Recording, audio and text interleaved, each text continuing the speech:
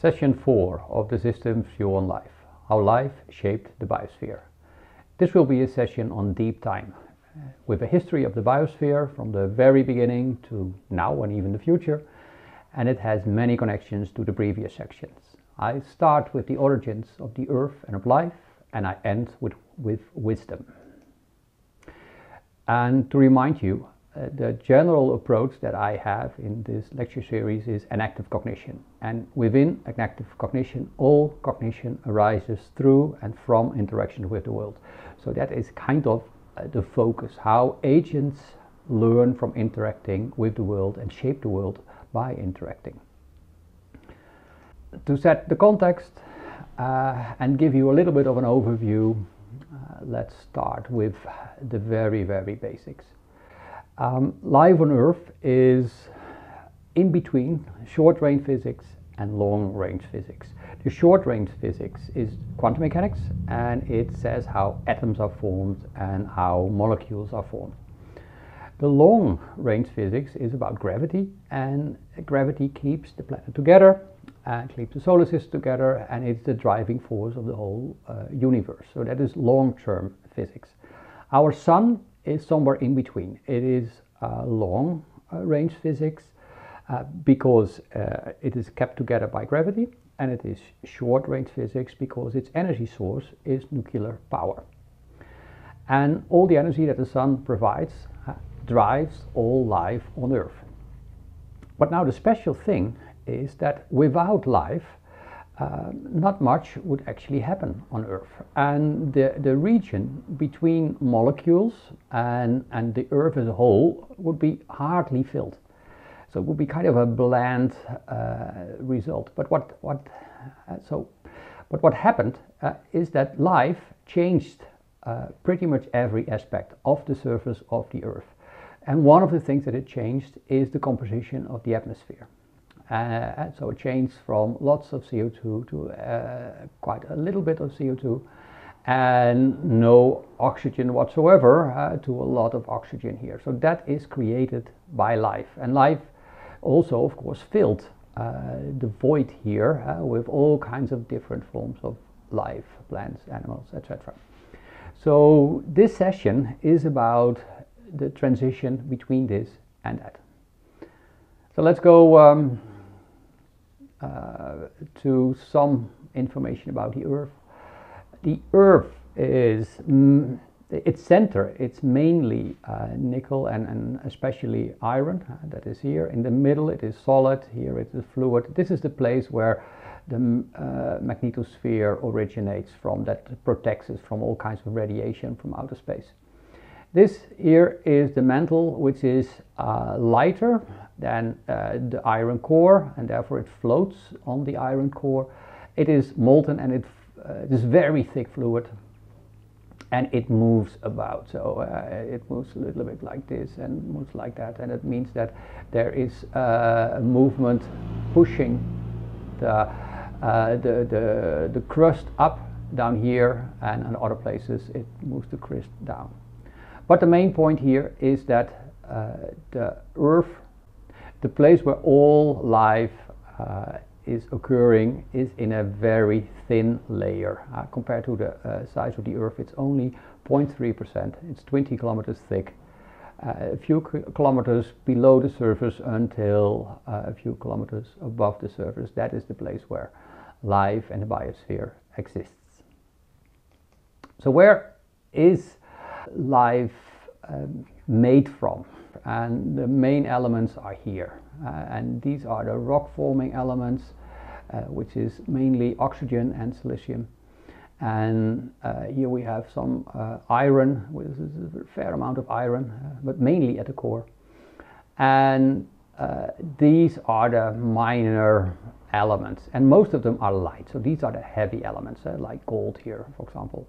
Here, um, we have the lighter elements. And life is predominantly made from the uh, lighter elements. And why? Because the lighter elements float on the heavier elements, and the heavier elements are at the center of the, the Earth. So the lighter elements, they uh, were able to, to move to the outer sphere of the Earth. So we have uh, hydrogen, we have oxygen here, we have carbon, and those are what the biomass, most part of the biomass is here. There's a little bit of nitrogen. It's much of it is in the atmosphere, also in our bodies in proteins, and uh, we have uh, enzymes uh, with with phosphorus, sulfur, and uh, and chloride. Um, here we have some salts, uh, sodium, potassium, calcium. Those form the salts in the sea and also the salts in our cells. And, and, then we have a little bit of iron, for example, in our cells, in blood cells, uh, but, but most of these materials we, we hardly use. The abundant stuff at the surface of the earth is where we are made of. Well, a next overview thing is, is the whole history of our earth until now. So the earth is about 4.6 billion years old and it uh, started with a fairly short period of about 1 billion or half, a billion, something like that, uh, years. Is called the Hadean. And there was no life whatsoever. Uh, then we had an area, a long area, where there were sea bacteria, from here or something like that. Um, and then the sea bacteria became more advanced, uh, so a, a bigger, uh, and it had a very, very strong effect that, that happened about here. 2.4 billion years ago. Um, here we got about 1 billion years ago, we got multicellular life, where we are an example of, uh, just like we are uh, eukaryotes, by the way. Um, and and uh, vertebrates, uh, animals uh, like, like us, they existed only uh, in this period, and humans, well, they are really very, very thin sliver. So one might ask the questions, where are the roots of behavior and psychology in this? Because we are talking about enactive cognition. So, well, I think that this is a pre pretty good place, the start of life. And uh, because the start of life was the difference between matter without agency and matter with agency. Uh, and agency has been kind of an important uh, concept until now. So here agency started. Well, let's uh, go to the history that I want to tell in a fairly simple graph. Um, so this is time, linear time. This is the early Earth, 4.6 billion years ago. This is now.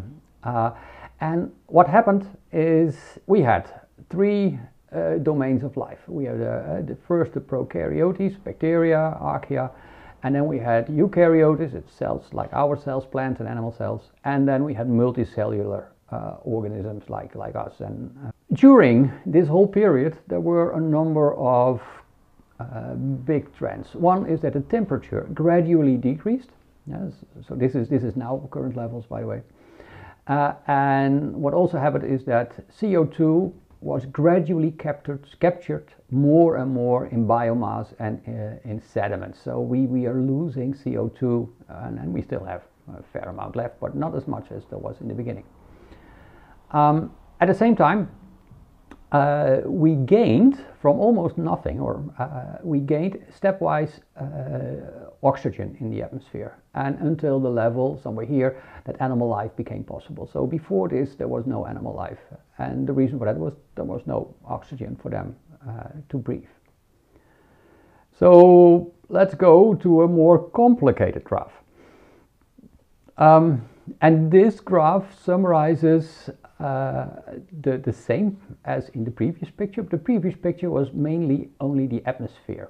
Uh, and uh, so this part here shows the atmosphere, this in the middle shows some activities in the land, and this uh, shows the ocean. And lots of things uh, were happening in this time. So by, by the way, this is now log time. Yeah, so this is a, this is one billion years. Uh, this is a billion years. This is a billion years, and this is a almost a billion years. This is 65 million years ago, uh, uh, which was the time that the dinosaurs died out. So we are we are not yet home, but we are uh, in geological timescales. We are pretty uh, pretty close.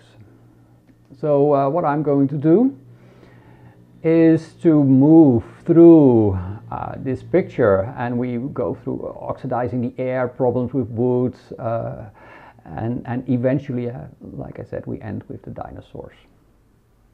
So in order to understand this picture, uh, we first need to know something about the atmosphere and where the atmosphere actually originated from. The atmosphere and the, the hydrosphere, which is the oceans and, and all the water on, on Earth. Most of the atmosphere originated from the internal part of the Earth, where it simply, because it is light, it bubbled up and it bubbled up in magma. And uh, in the beginning of the Earth, there were lots of volcanoes. Uh, the, the, beginning was basically one big volcano. Yeah, so uh, lots of uh, lighter stuff, water, nitrogen, uh, carbon dioxide, um, uh, that, that appeared from inside the Earth. And then we had some of the water that was split into hydrogen and in oxygen. Uh, but in the beginning, the oxygen uh, was almost directly taken away, so it, it, hardly played a role in the beginning. The uh, hydrogen here is escaping. And why is hydrogen escaping? Because it's a very, very light element and it is too light for the gravity of Earth to capture. This is a picture of that. So this is the surface temperature. This is uh, the escape velocity. And these lines, they indicate the lines where a certain planet can still capture uh, hydrogen. So, for example, these planets uh, uh, uh, can capture hydrogen because this hydrogen line is below them. But the Earth can't capture hydrogen and not helium. But uh, for example, Venus can't capture water uh, and, and Mars also not. So that's the reason why Venus has very little water and the Earth has a lot of water. Mm-hmm. It, it simply it can't escape from the Earth's uh, gravity. But Venus has a lot of CO2 uh, because it is, it, uh, it is heavier and Venus can easily capture it. So that is one of the reasons why the Earth has the particular composition that it has. And it is in a big part just luck because it has the proper size and the proper temperature. In this graph, I'm going to, uh, to show you the, the, atmospheric changes. And this is the pre-life uh, atmosphere. So the pre-life atmosphere had a lot of uh, nitrogen, it has a, had a fair amount of methane, and it had uh, a lot of carbon uh, dioxide, and uh, it had uh, water. Um, and these two were the main important greenhouse gases that uh, kept the Earth nice and balmy, actually um, quite a bit warmer than it is now. Um, the current atmosphere looks quite different. we have more nitrogen, and it is mainly nitrogen that escaped during the, uh, the, the, billions of years from volcanoes. Um, instead of no oxygen, we have a fair amount of oxygen. Uh, we lost the methane, we lost almost all of the CO2, and we lost a little bit of water in the atmosphere. And this is mainly the effect of that it was warmer here, and warm air can contain more water than, than uh, colder air. So that's the reason why there is less uh, water. Uh, but currently, water is the main green, greenhouse gas uh, because CO2 is no longer uh, uh, well, the main contribution of the atmosphere. So this was the original store of carbon for all of life. And uh, we got more oxygen because of photosynthesis, because of plants uh, using CO2 and so this became uh, less and then producing oxygen into the atmosphere. And uh, the oxygen uh, in the atmosphere then also reacted to the methane in the atmosphere. So that's the reason why we have very little methane in the atmosphere. So th this, this change uh, that you see here is mainly the result of life and especially photosynthesis. Um, Another ingredient uh, that is uh, important is where the greenhouse effect originated from. Well, the greenhouse effect comes uh, from uh, the, the difference between uh, the sunlight that the Earth receives and the radiation that it sends out. So what is happening? The sun is very hot and it produces uh, different frequencies, especially ultraviolet light uh, uh, and, and visible light and, and some uh, infrared uh, radiation. that is that is this here, and and it does so because it's 6,000 degrees hot. That is the, the color associated with 6000 degrees here. The Earth is heated by the sun, uh, but it is not as hot as the sun. Uh, so the Earth is about 20 degrees, and that has uh, uh it produces uh, radiation with a different envelope, so hardly overlapping actually. And so it receives uh, energy with these frequencies and then it sends out uh, energy with these frequencies. So this is in the uh, far infrared. And part of what the Earth uh, sends out is captured by the atmosphere and part what the sun sends to the earth is also captured by the atmosphere. And that is uh, depicted here. So for example there is something that is called Rayleigh scattering and Rayleigh scattering is that uh, light particles are being scattered by atoms in the, in, in, in the air. And that is uh, in, in the area with, of light, and it is more pronounced with blue light than with red light. And that is the reason why the, uh, the sky is blue. Because the sun sends out every color, but the blue is scattered more, so every part of the sky looks blue.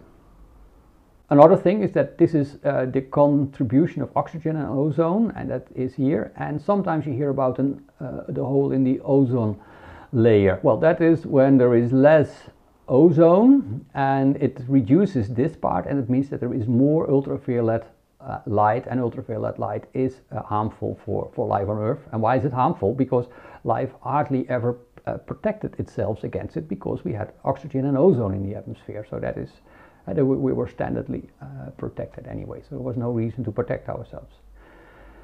Um, this is what the earth sends out. And uh, and most of what it sends out is actually captured in some way in the atmosphere. And uh, so it's captured mainly by of uh, water vapor, uh, by carbon dioxide here and here, uh, but uh, that is that is rather minor contribution. And it's also captured by uh, methane, for example. And currently we have very little methane, but if you if we increase methane, and because all kinds of forests are sending out methane or something like that, and then this thing will, will, will rise and will have pretty quickly a more strong effect. So this is associated with the total energy balance of the Earth. So this is all the energy that is coming in from the sun and this is all that the Earth sends out. And it's a fairly complicated picture, but uh, the key is that we receive uh, uh, st standard something like 341 uh, watts per square meter from uh, the sun and that is also more or less what we send out. And then the atmosphere, uh, it receives something and uh, it sends something out, it's almost the same. And the surface is exactly the same. So it receives stuff and it sends uh, stuff out. But it receives stuff at a higher frequency, so light, and, and it sends out at thermal uh, frequencies. But the net uh, value, net, uh, the Earth receives about 0.9 watts per square meter, which is 0.26%. The, the Earth is heating up with a little bit because uh, we send out less than we receive. That is this uh, particular point. And at some other points in time, it would be a negative number, and then the Earth would cool. Yeah, so in the uh, when we go into the direction of uh, an ice age, it would be cooling. All right, next little topic is how life formed and especially where cells come from. And I base myself now on uh, the work of Eric Smith. Um, and we started at some point with a completely lifeless environment. But for whatever reasons, uh, uh we at some point there might be a situation at some parts at the Earth uh, where biochemical ingredients were available. Uh, and, and, and somehow it was accrued there and it remained there. It was as a store for eventual life. And then maybe those biochemical ingredients learned to maintain uh, their activities uh, and, and so that we had biological pre-biological uh, biochemical processes that were maintained. And because they were maintained, they could persist for a very long time. And therefore, they could be also fairly abundant because they kept on being there. Um, the next step then would be that environment was partly self-maintaining. It learned how to maintain itself, and because it learned how to maintain itself, it became, uh, it could become even more abundant. Uh, the next step is that uh, life uh, organized itself in cells that were environments that were under their own control. They were able to do the self-maintenance much better, but at the same time, they were still depending on their habitat uh, that was uh, more or less self-maintaining and that should uh, remain self-maintaining. So the idea here is that we had an ecology of biochemical processes uh, that, uh, that was already present here and here uh, and has remained here as well. And if you looked from it from a big different distance uh, then, and, and you couldn't see all the cells, then you would say, well, yeah, maybe this and this is actually the same. Uh, this is more efficient, uh, maybe you can measure that. Uh, and why is it more efficient? Because it's organized in cells. But at a long distance, you would just say, hey, weird, hey? We, we have three different forms of uh, self-maintaining biological, uh, biochemical processes. So let's think about how cells then uh, organize. And it has to do with a particular type of molecule, say soap uh, molecules. So when you have a soap molecule, it has a water-loving side on one side and a non-water loving and water-hating side on the other side. And uh, so a soap bubble is water uh, in between uh, soap molecules, and the soap molecules here are in air. And this, these uh, molecules, they they connect together kind of and form a very thin layer uh, of the soap bubble. And we all know that soap bubbles form fairly easily. Well, something very similar you can have if you have oil and water and a little bit of soap and you uh, shake it a bit and then you get different types of, uh, of, of, of, bubbles.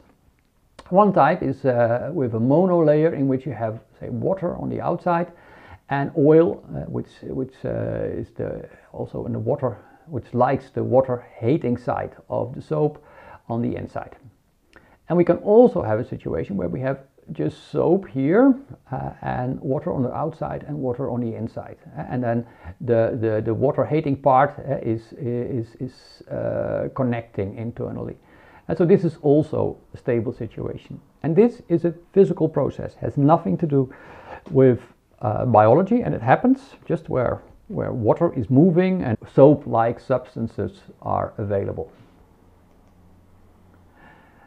Um, why is that important? Well, this is our picture uh, of agency and agency is the ability to adaptively regulate your in and output and basically form a boundary layer between the agent and the rest of the world that is under your control.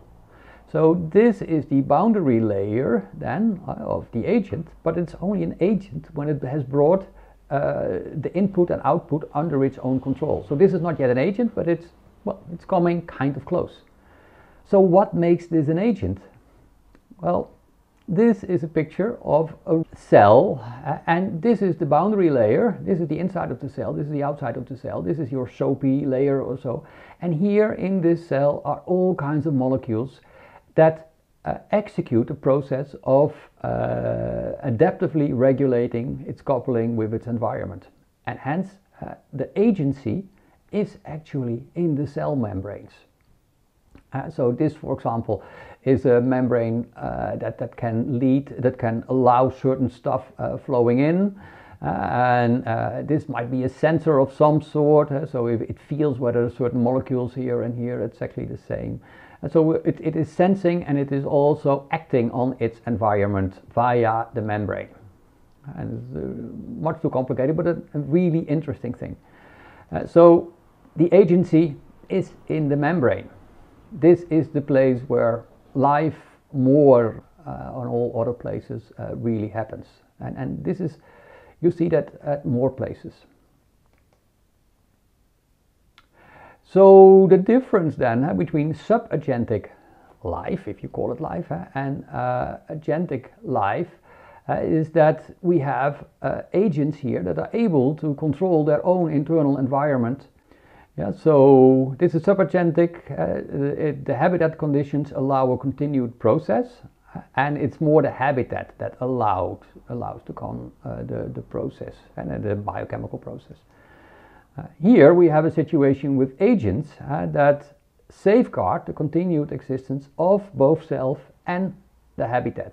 Yeah, so the moment they screw up the habitat, uh, they take more from it than the habitat can deliver, then its carrying, carrying capacity, and then they will die. So um, agents from the very beginning should take care of their habitat. It's really important. And, and in both cases, we have an ecology of biochemical process. So from, from a distance, it look, just looks like a lot of chemistry is going on. So what, uh, what led this to? Mainly in three groups, bacteria, archaea and eukarya. We are the eukarya, animalia here, uh, and, but the most common life forms are bacteria and archaea.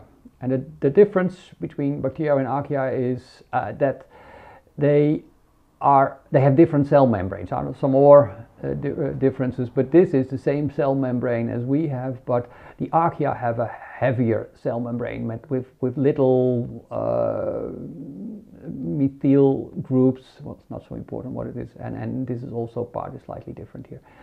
Um, and this allows them to live in more difficult environments very uh, salty environments with lots of methane, with uh, lots of acidity, with very hot uh, environments whatever. This, this, these are uh, really the ones that can live pretty much everywhere. These are the, the bacteria. They have cells like us. They live in more or less the same environments as we do.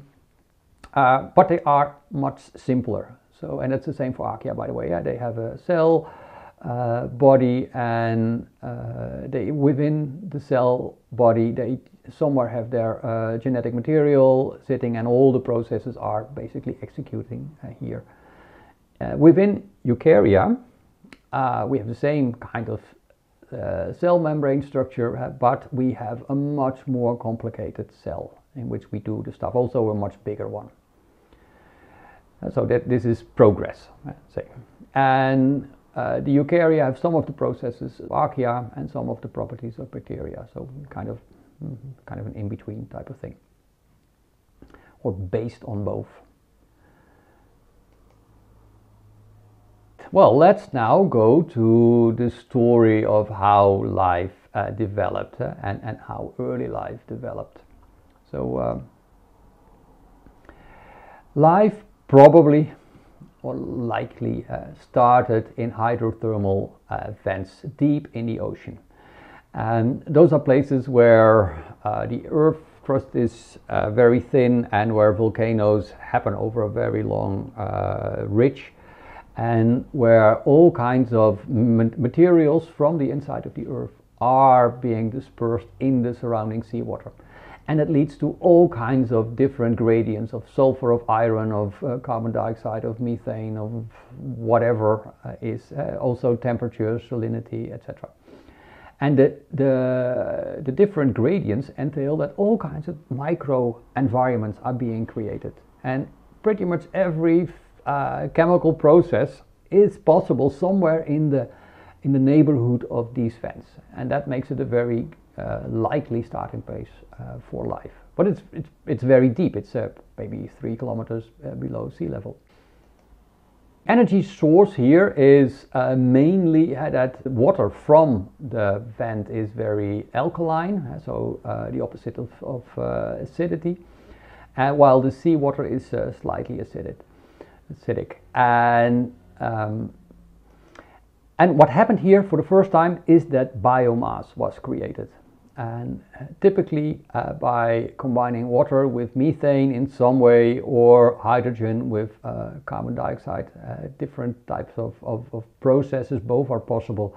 But this is the kind of the shorthand of uh, biomass, which is a combination of carbon and water, hydrocarbons, uh, we call them. And uh, so this is, this is biomass in all the pictures that I show. Um, and this uh, still, uh, it is life, uh, so we have to, to, to think about all the requirements of life. And I, I already hinted to it. Life uh, needs to take care of its own needs uh, in the service of contributing to the habitat. Because if the habitat is not maintained really well, then it has no place to live. Yeah, so it needs to protect its own viability via coping, uh, and it uh, needs to contribute to the env to environmental quality co-creation. And we have seen this one uh, before. Life is about avoiding death and co-creating uh, in a highly viable habitat, and it's balancing asserting yourself, which is energy intensive and doing stuff in the world, versus uh, adapting to the situation, which can be much more energy efficient. That leads uh, to now an agent uh, that has an idea of uh, what in what type of environment it is. Uh, so it can be in a rich environment where it has many different opportunities, high affordance content. It can be in a safe environment where it is easy to select your behavior uh, and, and where there are well, no dangers and, and uh, maybe ample food. This is the place uh, where you can learn, for example. Um, this is a precarious environment, which is a dangerous environment. Whatever you do, uh, it might be the wrong action. Uh, so uh, your your action selection is a really difficult thing, and it can be an efficient environment, an environment that simply does not provide you but with uh, enough of what you need. So you're uh, you're deficient, and that leads to something that you could call action readiness. Uh, so depending on the environment where you are, uh, in a rich environment, you can learn. In a safe environment, you can care for yourself and for the world. In a deficient environment, you have to protect yourself and protect whatever you still have. And in a precarious environment, uh, you have maybe you have to fight or you have to make uh, difficult decisions in order not to die. Now, so this is action readiness. And this has to do with uh, also my, my field of science, uh, soundscape, and the generalization. Uh, so a soundscape is an acoustic environment as perceived or experienced and or understood by personal people, people in context. And if you generalize that, and then we are at the course, uh, the world as perceived or experienced and or understood by an agent or group of agents in context. So the world as perceived. Well, the world as perceived as precarious, as rich, as safe, as deficient, etc. Um, so this is kind of logical that it is connected. Also, uh, we have uh, cognitivity. Uh, what was cognitivity? Uh, it a system is cognitive when its behavior helps uh, its continued existence and helps its flourishing. Yeah, so this is the thriving, coping, and problem solving part, and this is the thriving, co creation, and pervasive optimization uh, part. So let's think about a bit about the flourishing. Um, so, when are you flourishing? Well, you are flourishing uh, the moment when you can protect, maintain, and extend the conditions on which your existence uh, depends. And when you do that, uh, you uh, increase the basis for your existence uh, by uh, improving the conditions. And so this loop has to be going on all of the time. And apparently, this is what the biosphere did. It started from something very uh, small and punny, and, and it has the current huge uh, size. and let's let's go into this one again, the measure of agentic success. Uh, so if you are often in the co-creation mode, so hence you can uh, contribute to a better world in which uh, long-term needs are satisfied, and then you have high cognitivity. And apparently the biosphere was able to do that. It, it created a really wonderful environment for ever more forms of life. So in that respect, uh, you can say that the biosphere had uh, high cognitivity. Uh, but not always. Sometimes it was withering at some places at least.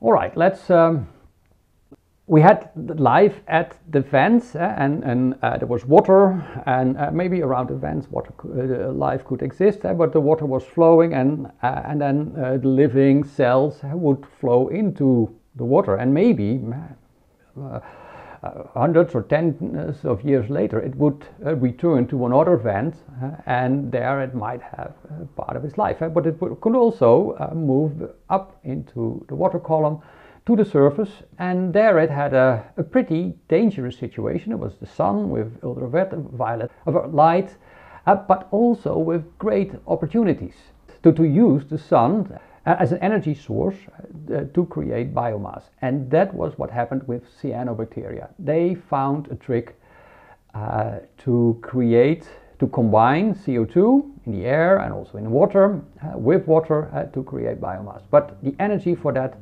was from uh, the sun and it needed the sun. So it could only happen in the uppermost layers of the sea, so uh, first 10 meters or something like that. Um, but this already had a pretty direct effect. So this led to the liberation of oxygen. Uh, so part of uh, the oxygen of water uh, was, was released and it became oxygen. And oxygen then started to, uh, to react with the partially oxidized iron, iron 2, uh, in, in, in the seawater. And that led to rust. And rust uh, doesn't uh, dissolve so well, so the end result is that it fell to the bottom. The oxygen started to react with the bacteria uh, and it changed it back to carbon dioxide and water. And this led to the first mass extinction. All the bacteria that couldn't protect itself uh, because they didn't have antioxidants yet, uh, they, they died basically. So this, this led to really big mass extinction. Something else that happened is that uh, the oxygen reacted to the methane in uh, the atmosphere and it took away a greenhouse gas and it added a little bit more carbon dioxide, but that was only a little bit of greenhouse effect. So the net result was that it became cooler. And another effect was that uh, iron uh, reacted and that fell to the bottom. So uh, from the top to the bottom, gradually more and more of the uh, iron 2 was reacted away in fully oxidized iron and rusted. And this uh, basically removed the iron from the sea and gradually from the top down. So that is, that is uh, indicated here. Well, then something on ice ages. Um, ice ages, they are caused by a, a large number of different effects that come together. Uh, one is that the sun might be uh, become a little bit less uh, effective. Uh, our place in the galaxy is also important. Uh, uh, at some places we receive more um, galactic rays and more galactic rays lead to more effects on the atmosphere and that leads to a cloud cover. so it increases the whiteness of the Earth and the whiteness of the Earth uh, leads to more reflection and the reflection leads to a colder temperature. Another thing is the so-called Milankovitch cycles. The Earth doesn't have a completely stable orbit. Sometimes it's more round, sometimes it's less round. So if you have a summer here, uh, where you're further from the sun, which is this is by the way quite uh, a little bit extreme. Uh, but when you have a summer here, uh, or when you have a summer here, uh, this is farther from the sun, so it's less warm. Um, another thing is that uh, the tilt of the uh, axis of the Earth uh, is different and the, the pole might aim at a different place in space. And these all have effects on how much uh, warmth uh, the Earth uh, receives. Another thing is the position and shape of the continents, and especially when you have continents at the poles, then you have a place where the ice can set and, and, and persist and, and that is the ideal position for ice ages. And another thing is ocean circulation. If, if oceans bring warm water to the poles, uh, then uh, it will warm the poles and the, the chances for an ice age are less. Um, what happened uh, about 2 billion years ago is that we had the first complex cells, the first eukaryotes. And what was special about them is that they had more membranes. and eukaryotes were a symbiosis uh, between different cells. So, for example, the chloroplasts uh, that are these things in plant cells, they do the, the photosynthesis, uh, they were other cells, other bacteria that uh, started to work together with uh, with other bacteria and they ended up uh, forming kind of a colony within a cell and everyone doing his own uh, job. So same with mitochondria. Uh, this is uh, this is a mitochondrium here and the same mitochondrium is in uh, exists in animal cells. Um, the important thing is that these complex cells, they have a lot of internal membranes. And those internal membranes, they are associated with agency, yeah? because agency allows you to, to uh, create local environments under your control. And that is exactly what is happening here within all those membranes. And um, they also uh, have now more possibilities for cellular skeletons, uh, so like, like the outside of this and uh, some other possibilities. So how did that work? Well, we had first a simple bacterium uh, and the bacterium then, uh, it might have engulfed its own outside membrane so that it became more or less an inside membrane. And so this is an area that is much more under your control. And you can do all kinds of little processes uh, and, and therefore you gain control. Uh, and it eventually became something that is called the endoplasmatic reticulum. Uh, that is this stuff, uh, which was originally yeah, just inward folded uh, outer membrane.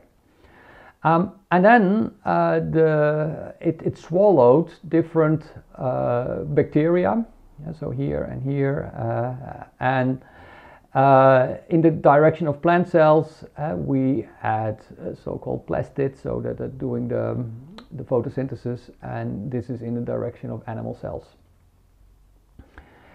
So the key point is that these cells uh, became much more complex with much more internal membranes and therefore uh, allowing for a much higher level of control and agency over the own situation. Well, the, uh, especially the eukaryotic plant cells, the algae, uh, they became really, really uh, very efficient in photosynthesis. And they released uh, a, relentless amount of oxygen. Although they released uh, an enormous amount of oxygen, the oxygen level in, in the world hardly changed. And why did it hardly change? Because there was so much to oxidize. Pretty much the whole earth was filled with every all kinds of stuff that could be oxidized, from iron uh, uh, to, to all kinds of metals. The sea exactly the same. There was a lot of iron uh, dissolved in, in uh, the sea and it had to be taken out step by step. Uh, and so gradually it was taken out more and more until uh, on, at the surface here it everything that could be oxidized was oxidized and only at that point the oxygen level could rise. So this took more than a billion years, something like 1.4 billion years, it, it, uh, where the, the, the, oxygen level remained the same, the same, but the surface of the Earth and also the sea, uh, they were gradually becoming less uh, metal-like and more oxidized, and hence also uh, a, less uh, reactive place where eventually life could walk and live. So from about uh, 900 million years ago, so less than a billion years ago, uh, the, the, the, atmosphere started to fill itself uh, with oxygen and that was the result of all kinds of plants uh, in the sea, algae, kelp, those kind of things, uh, uh, that first oxygenated the oceans and via the, the oceans it went into the air. But this also coincided with another snowball Earth uh, moment. Uh, at that moment, there were supercontinents at the poles. Um, there was an easy buildup of land ice, and because there was so much uh, CO2, uh, carbon being used by all the animals and all the plants, uh, and part in the exoskeleton, so in the in, in, in the bones, etc., of, of, of bacteria. Well, not really bones. Um, that led to a reduced uh, CO2 and therefore reduced um, greenhouse effect and a cooler Earth. Uh, we also lost eventually all the uh, methane and for some reason uh, the albedo, the, the, the, reflectivity of the Earth uh, increased and it led to about 100 or 200 million year long period of snowball Earth where the Earth was pretty much completely uh, covered in ice, maybe a few places, places around the equator not. And that eventually ended uh, because the volcanoes started or continued sending out CO2 in the atmosphere, and that led to uh, a bigger greenhouse effect. And eventually, uh, apparently, uh, the Earth escaped from the snowball Earth uh, phase. And below uh, the ice uh, life had, had continued, maybe at a slower pace, but it also had, a, had developed a few innovations, probably in order to live in the more difficult environment. And but that was a pretty important uh, step.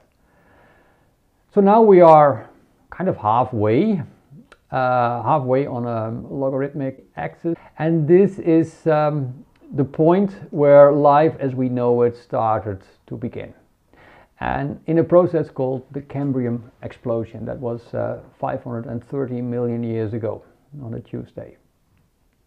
And at that stage, bigger animals were possible uh, because there was uh, oxygen uh, produced by photosynthesis. So animals don't produce oxygen; they they use it uh, to breathe, uh, and and therefore animals could become bigger and, and, and more pervasive, and also venture a little bit on land. But what really happened in the Cambrian explosion was that body plans, new body plans, were uh, developed, and cells learned tricks on how to do, how to specialize within one, a single organism. So we got special cells uh, that learned to become a gut cell, a heart cell, a mouse cell, a brain cell, or whatever. And uh, and there were all kinds of different body plans developed. So this is the body plan of the vertebrates, and we are a vertebrate, and this is our basic body plan, still the same. Um, and so this is this is the the, the proto brain. This is the vertebrate uh, or the, the, the nerve uh, through uh, our our uh, body. Uh, this is the mouth. The, we have something of eyes or the heart here. Um, but important this here is uh, another environment that we created. This is our gut, and it's say the outside uh, turned inside. And here we have all kinds of bacteria living in us, uh, and it's still the same. It used to uh, at that, this moment also. And those bacteria they work with us in a symbiotic way, and uh, they do part of the or of the digestion of our food. So we, we are actually we are a, a, big colony. But this also gave us more agency uh, because this new membrane. Uh, well, at the Cambrian explosion, all the different body plans uh, developed. So uh, we are the chordates, uh, so we are we are here, but all kinds of other different body plans developed and and from here on we had all kinds of different uh, animal lines uh, developing uh, and, and plants are uh, not in here but they are part of, of this uh, this branch. The Cambrian explosion was was an animal thing. Then um, a plant thing is was that plants started to become more and more prevalent uh, everywhere uh, around the earth. And um, so they settled everywhere they could settle and they started to do the photosynthesis. Uh, so this is the photosynthesis formula with a depletion of uh, carbon dioxide. And that was especially bad because wood was not degraded. There was nothing that could eat uh, the lignin of wood and that was the origin of our coal deposits. So all the coal deposits are trees falling on trees, falling on trees, falling on trees, and never being degraded. But because they were not degraded, it led to uh, a reduction of uh, carbon dioxide levels, uh, levels below probably our current levels. Our current levels are 400 parts per million, and, and pre-industrial it was 280 parts per million. Uh, so this might have uh, went to, to a level close to what it was now. Uh, but it used to be much higher than it was now. Uh, at the same time, it became colder because uh, less greenhouse effect and drier. Uh, and plants were, although they were everywhere, they were actually starving because plants at that time need at least 150 uh, parts per million in order to grow CO2. Um, and that uh, became more and more difficult, and they were not used to it. They were uh, developed, all the, the, the, the, machinery for photosynthesis was developed for maybe a thousand parts per million or, or 2000 parts per million. And so plants were actually, although super abundant, not doing that well. Uh, and uh, that eventually uh, became a carbon crisis. And what happened in a certain situation, uh, the, the oxygen levels were really high. We had big insects, uh, and those insects lived in forests, and those forests they were a little bit dwindling.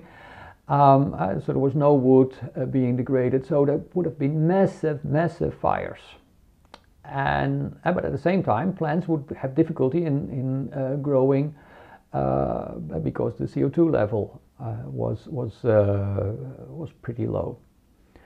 And then uh, white rot, a fungus, so the familiar fungus like this came to the rescue because it was the first life form that was able to break down the lignin in wood. And that led to uh, a, a, super time for uh, the white rot fungus and a rapid release of all the, of CO2. So all layers on layers of wood could now be eaten. And that meant uh, that the uh, CO2 levels started rising again and quite a bit. Uh, and uh, the temperature uh, with it, because of more greenhouse effect, also rose again. So that was a good thing. However, it also led to the biggest extinction ever. So what was happening? Well, the trees, uh, they were growing now really happily and uh, they were learning how to crush uh, rock uh, with their roots. And so they made the soil in part and uh, the soil had a much uh, bigger surface area. And with the surface area of the soil, all kinds of materials became available. And with the rotting material of the trees, it uh, went to the sea. And in the sea, it brought a lot of stuff that uh, cyanobacteria and algal uh, algae uh, really love. And they started to bloom. And that entailed that there were lots of, uh, of, of, regions, the whole ocean actually was almost completely green because of the algae that had a super time. But they took away uh, the, the oxygen from the sea, so it made it very difficult for uh, all kinds of life forms to live. They poisoned the sea with uh, cyanide, and it led to huge, huge dead zones. And that caused the biggest extinction uh, of all until now, with 97% of all marine species uh, being well, dying. And why did they die? Because uh, there was so much going on on land, uh, and, and there was so much uh, nutrients uh, made available on land, that were useful on land, but at the sea, they were leading to a situation with only cyanobacteria and algae and, and uh, hardly anything else that could uh, survive. So this was a big extinction where eventually also 70% of all uh, at that moment existing vertebrate species uh, went, went out of existence. We still have uh, this uh, effect and, and we have still have dead zones in the sea. They are fairly small, but well, everywhere where there is a lot of industrial agriculture and a lot of uh, industrial processing of lands, uh, there we, we have dead zones in the sea. And this is a little bit older picture, but it's still uh, very, very prevalent. So now we are getting close to, to now. Uh, we, we are in this area here. and in this area, uh, we are going gradually to the current state. Uh, so carbon dioxide is still going down. Oxygen is slowly going up. Uh, when carbon dioxide is going down, oxygen is typically going up. Uh, because there is a little bit less or less carbon dioxide, the temperature is going down yeah, because of, of, uh, of its greenhouse effect uh, reducing.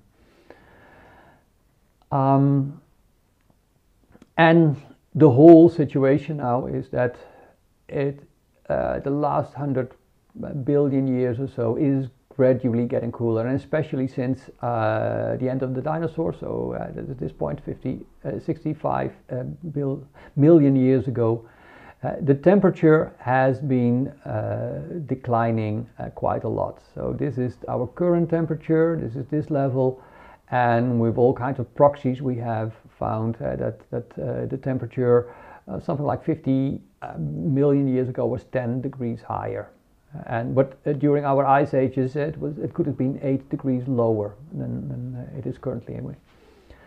Um, there's something interesting going on somewhere somewhere here, and that is that plants found a new way of doing uh, photosynthesis. And now we have another type of plant, the so-called C4 plant, that has a much higher photosynthesis efficiency. They are not as prevalent, but the more the carbon dioxide level decreases, uh, the more uh, the C4 plants will, will uh, have a chance. Also, what was special is that because of the temperature going down, we all of a sudden got more and more ice ages. Yeah, so, during an ice age, uh, we have more life in the sea, and between between ice ages, we typically have more life on land, and um, that is the pattern where we are now. So uh, going back to our terraforming summary, uh, so we started with an atmosphere with uh, lots of uh, CO2 and um, we ended up with an atmosphere with very little CO2. Um, this is the, the storage for all of life. So all the carbon uh, for, for life is now actually in life, in biomass, in living, uh, or in skeletons of, of, uh, of, of, former animals and plants, or in, in, in, coal and, and, things like that. Um, oxygen has come up and has changed the world, has oxidized the world, uh, and now we have a, a, world that is full of photosynthesis and, and it keeps its uh, oxygen level high and actually makes it higher and higher gradually. Um, but uh, because we lost some greenhouse gases, the temperature uh, has gone down and, uh, and therefore is a little bit less water in the atmosphere. And so there's also less rain now than it used to be. Uh, but the main thing is that life uh, created the conditions uh, for life itself. And life really makes a difference. Uh, so this is a picture of Mars, and this is kind of the same place uh, somewhere on Earth. Uh, and this is 100%, or almost 100%, the difference between a living planet and a non-living planet. And something about the future of the biosphere. Um, what can we say about the future? Well, the next 600 million years are not too bad. Uh, and 600 million years ago, there was not even uh, a complex animal. Yeah, so we are about halfway. And so it will be nice for, for quite a while. Um, this picture is a, um, is a simulation and uh, of, of what type of life can exist uh, on Earth based on uh, the carbon dioxide, uh, because uh, life needs carbon dioxide for photosynthesis. And it's, uh, this is the region where bacteria can live, this is where eukaryotes can live, and this is where complex life can live. And, live. and complex life could only exist from 500 billion years ago and we are now here and uh, somewhere around 1 billion year in the future uh, there will simply be not enough carbon dioxide in the atmosphere uh, to sustain plants and to sustain uh, animal life. Uh, so complex life will end in about uh, 1 billion years. So some conclusions on this part.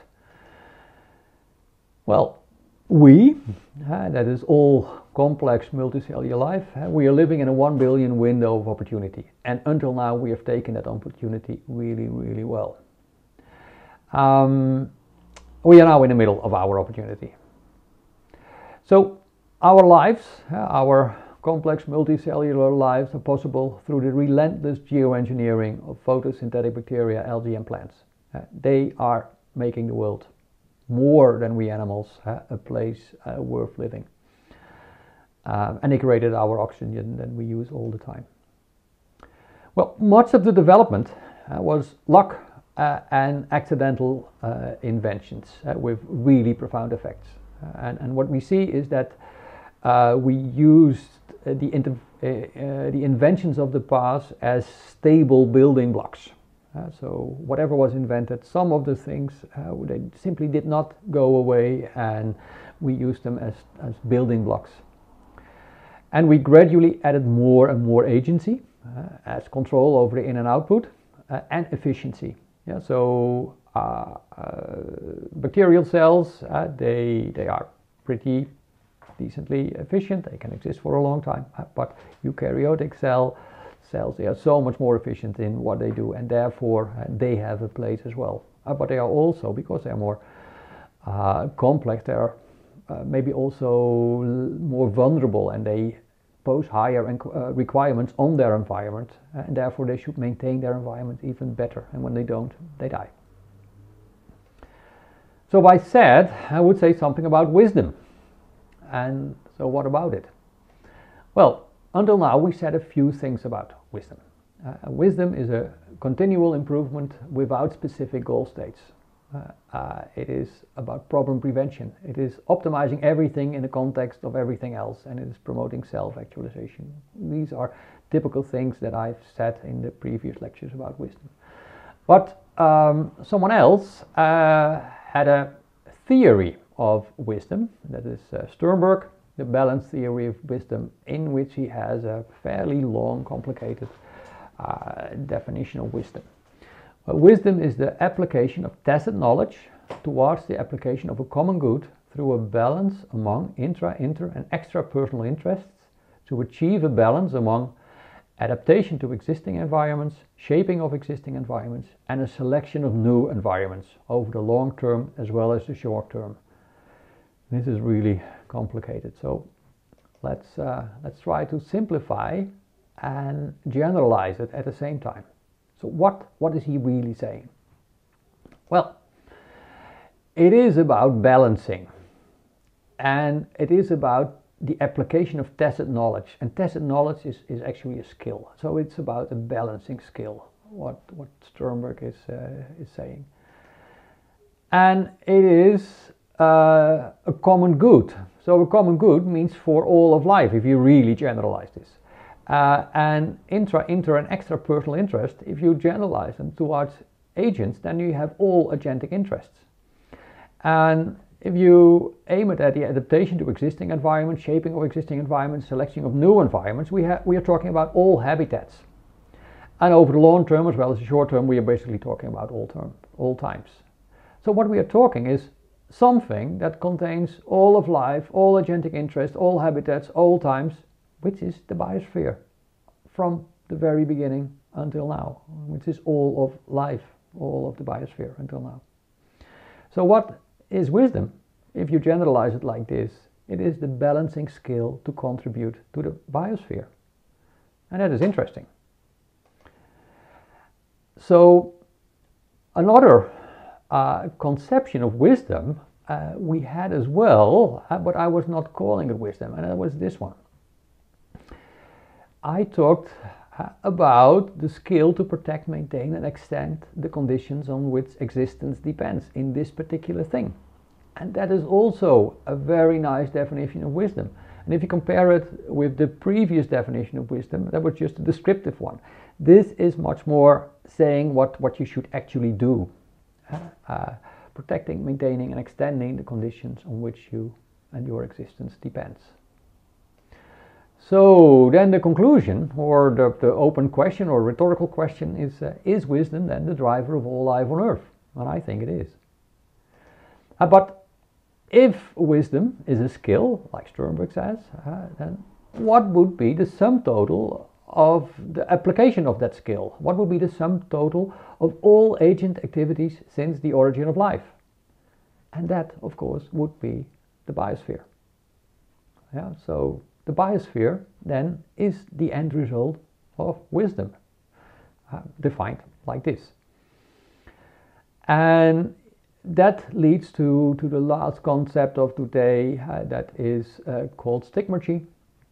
Stigmergy is building on traces left in the environment, uh, and that is what life did. Yeah, so uh, life did stuff, uh, changed the world, and learned to live with the consequences and actually build on that, and it became bigger and bigger and bigger. And we have two forms of stigmergy.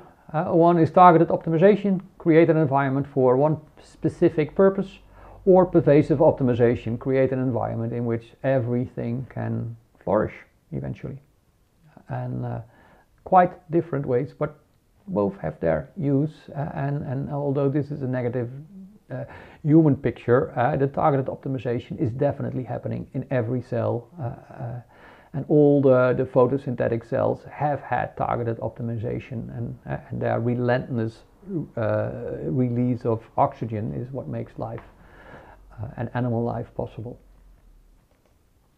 So what now? Um, well, a few conclusions uh, that, that, that uh, can be drawn from this story. One is that you can only predict the short term and only locally and the long-term and global developments can only be adapted to. Uh, and the resilience to adapt is a key part, a key feature of life. That's a really important uh, concept. Uh, and uh, adaptation is uh, kind of the opposite of asserting, uh, and it's a different use of your intelligence. Well, you always have to work with the basis that you have, but you can add to the basis. But you can never destroy the foundations of your own existence. Life as a whole maintains, protects, and extends the biosphere, and no individual species can keep the biosphere thriving. For the simple reason, you need all the different uh, aspects of the world, uh, and you need to be to balance that. Whatever is necessary, then you should keep up and take over, etc. It is impossible to find one species that can, can do it all. At least not uh, keep it in a thriving situation. Well, innovations, uh, they were as inevitable. We, we found them uh, because there were opportunities as they are dangerous. And the short-term effects can be disastrous. Uh, so we had cyanobacteria that killed pretty much everything that didn't like uh, oxygen. We had trees that almost killed all life in the sea.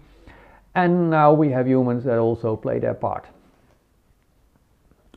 Another thing is that a biosphere, although it developed, it has no leader, it has no central points. It is the sum total of all previous life's activities, and it is the only process that we know that can do this. Yeah, so a leader, mm, it's actually pretty, pretty rare in uh, evolution. Last, wisdom. Uh, wisdom then uh, is the skill to co-create hab- habitable order, uh, the whole biosphere, uh, by protecting, maintaining, and existing and extending the conditions on which existence depends. So let's go to um, the summary of today. Uh, what was the example? It was the growth of the biosphere. Sustainability. we we saw that is this little picture. so we have an agent that should uh, tend to its own needs in the service of uh, the whole uh, the whole of its habitat. Um, in terms of development, we learned that uh, learning to live or with or building building on the consequences of your past actions is actually super important, and that is what drives uh, the whole of the biosphere and also uh, the development of, of living animals, etc.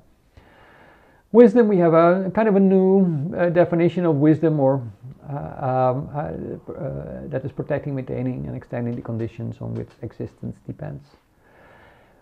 Feelings, why is that here? Well, we talked about action readiness uh, and in a precarious environment you're ready to fight, in a rich environment you, are, you can learn, in a safe environment you, you can care, in a deficient environment you need to protect.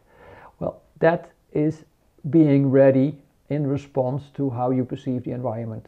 And action readiness, it is used as a definition of emotion by Nico Frijda. Then we had uh, appraisal of the environment, which is kind of the counterpart of action readiness. And uh, it says something how we appraise the environment as precarious, rich, efficient, or safe. In systems, uh, we learned uh, that agency and membranes and control over in and output are even more important than you thought. Uh, and, uh, so this is what makes life, uh, or the membranes, is, is where the really smart things in, in, in life are happening. Concepts, where we learned something about the biosphere, about wisdom again, appraisal, action readiness, and stigmergy. So finally, uh, the references. Um, Wikipedia is actually excellent in terms of the evolution of the Earth, and most of the information uh, that I presented here is also part of Wikipedia, uh, but uh, I also used uh, quite a bit of other articles. Then uh, I hope to see you at the next session on open-ended development.